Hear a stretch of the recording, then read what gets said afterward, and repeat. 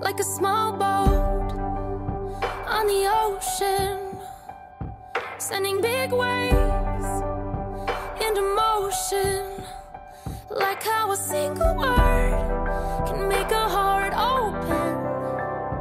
I might only have one match, but I can make an explosion, and all those things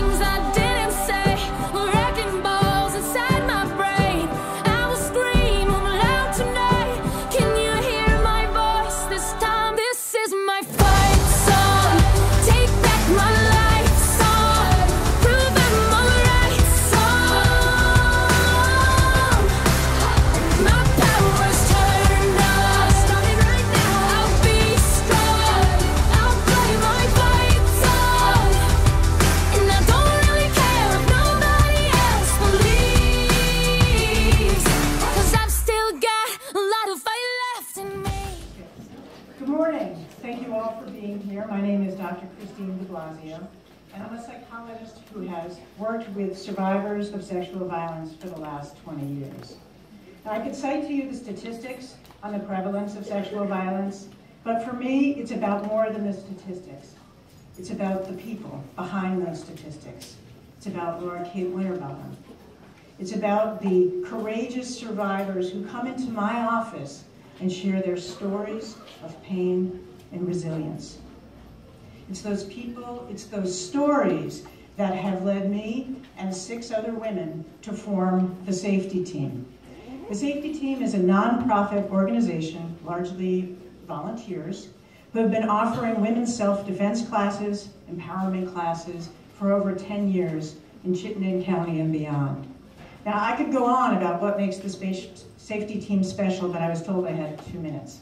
So I'll pick the most important aspect of the safety team. Again, it comes down to the people. We have quite a unique crew. On our team, during the day, we have uh, a law enforcement officer, a physical therapist, an educator, a forensic chemist, a forensic toxicologist, and a community coordinator, and myself. We bring to each and every workshop expertise that we glean from our daytime jobs. At night, you'll find us training at the Martial Way Self-Defense Center. Amongst us, we have six black belts ranging from first to fourth degree and two brown belts. And we bring that martial arts experience to each and every workshop as well. But the key ingredient in the workshops is, is something that's intangible. It's a passion that we each bring to make a difference, to make this world a bit safer. What I want to share with you just briefly is uh, our next phase that you all are helping to support.